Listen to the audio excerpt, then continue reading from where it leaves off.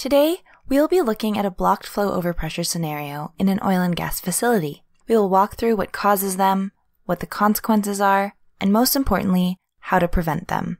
Let's join the team as they respond to a potential overpressure event in the field.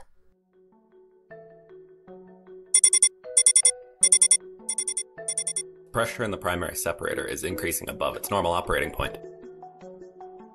Let's keep an eye on it. If everything else looks like it's running smoothly, it could be a surge from the well. The high pressure shutdown just went off. That was fast. Make sure everything is in a safe state. We need to examine this. One of the wells was shut down this morning due to a high pressure event. How did that happen?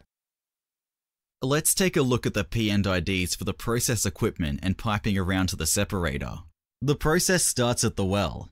The maximum pressure that the well is capable of producing is 40,000 kPa.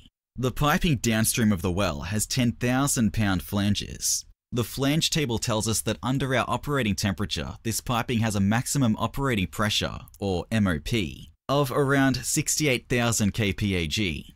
The pressure from the well is normally 12,000 kPa and is reduced to 4,000 kPa with a pressure control valve, or PCV.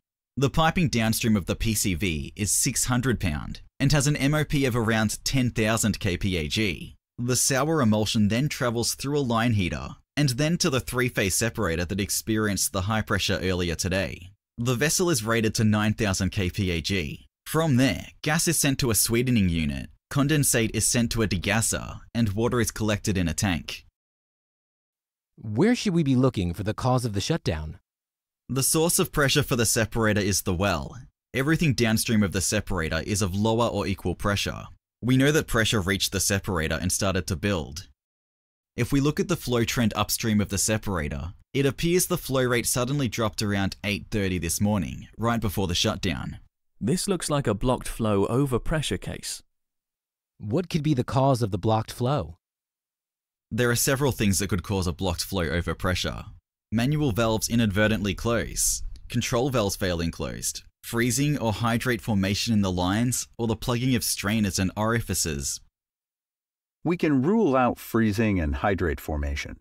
We have methanol injection downstream of the wells that the operators checked was working just this morning.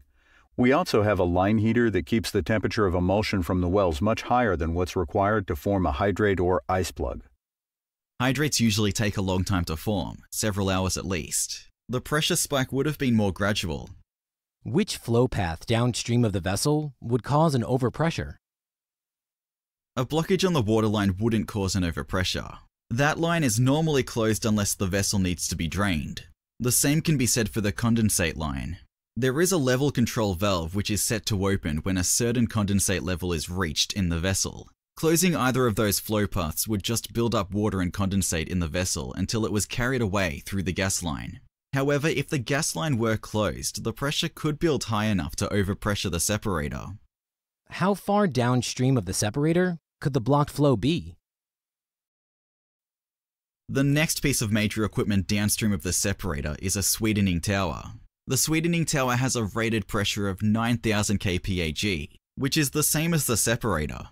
There are no spec breaks between the two pieces of equipment, and their connecting piping is 600 pound with an MOP of around 10,000 kPa. If the blocked flow were downstream of the sweetening tower, the sweetening tower pressure would have increased as well. Therefore, we know the blocked flow was between the separator and the tower.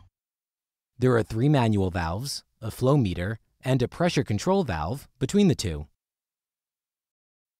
The manual valves were all open when we checked after the event. The flow meter was also removed and was clean. That means the pressure control valve was the element that failed closed. Let's make sure we replace the control valve and ensure the cause of failure won't be repeated. We don't want to have another situation like this arise that we can avoid. What would have happened if there was no shutdown in the vessel? If there had been no high pressure shutdown at the vessel, the PSV would have opened a flow path to the flare. If that didn't work, the separator would have overpressured, releasing sour gas, condensate, and water inside the building. A source of ignition nearby, like a pump, vehicle, or even static, could have ignited the release and caused an explosion. If anyone had been in the area, they could have been killed. It's lucky we had a good design and included the right amount of safeguards in the HAZOP. An operator could have been right there. Blocked flow overpressure is a serious hazard when dealing with pressurized equipment. There are some important things to look out for to identify and prevent overpressure from occurring. First, what is the source of the pressure? Sources of pressure include pumps, compressors, and wells. Next, where are the pressure spec breaks, and what is the maximum pressure that each piece of equipment and connecting piping can withstand? Comparing source pressure to rated pressures will identify if it is credible for an overpressure. Finally, if any point along a flow path is blocked and overpressure is credible, we must ensure there are enough safeguards like shutdowns and reliefs in place to protect all the affected equipment.